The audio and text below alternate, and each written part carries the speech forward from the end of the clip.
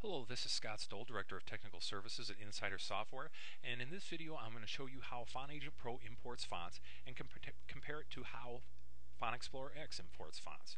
Okay, we're going to launch FontAgent Pro here, and then we're just going to simply drag and drop some fonts into FontAgent Pro. We're going to create a new library, and we'll just call it Fonts. Now FontAgent Pro is importing the fonts. It finds all the fonts for you, it checks their integrity, finds duplicates, optimizes the fonts, splits them down to the style level, and organizes them. Then at the end of the import process, you get a report here. Uh, you can see that there are some problems found. You can scroll down and see if there's other details that uh, you might want to know about the import, or you can save a copy of the report.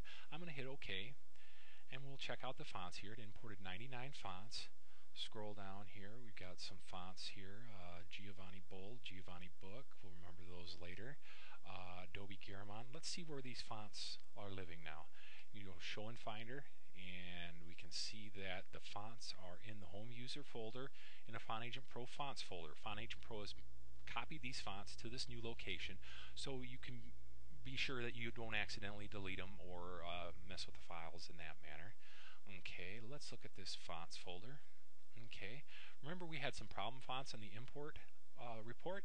Uh, they are in here and we can see all sorts of things about the fonts. We have a corrupt file, let's remember that, VT102. We got a folder of unmatched screen fonts, unmatched PostScript fonts, we got duplicate screen fonts and duplicate TrueType fonts. This folder here is for your consideration. You cannot access these fonts through FontAgent Pro, but you are able to come back later and make decisions on why they weren't imported and if you need to uh, possibly, in the case of VT102, find a replacement for that font. Okay, we're going to close out of here and close out of FontAgent Pro, and now we're going to launch FontExplorer X. Okay. Alright, now we need to quit the FontAgent Pro daemon, so this is the only thing running managing our fonts. Okay, now we're going to do the same thing. We're going to drag and drop a folder into FontExplorer X and it imports the fonts. Okay, we've got some red fonts here. Apparently these are not good fonts. Um, they are still in the family uh, level. They're not broken down to the style.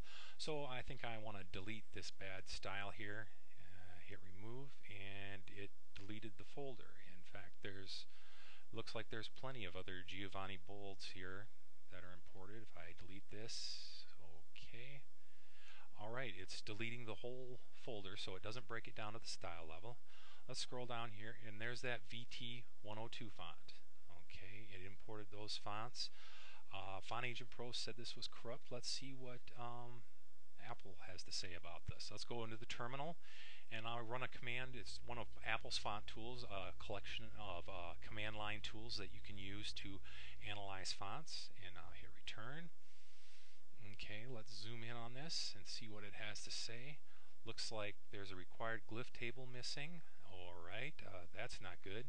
Uh, and a CMAP error. Uh, CMAP errors generally point to structural problems with fonts. So this is definitely a font you do not want in your collection.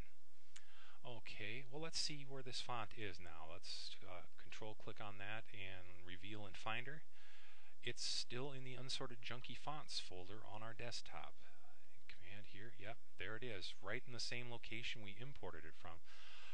Okay, oh, so what happens when we say throw this folder away and we'll go under Finder and empty the trash and hit OK.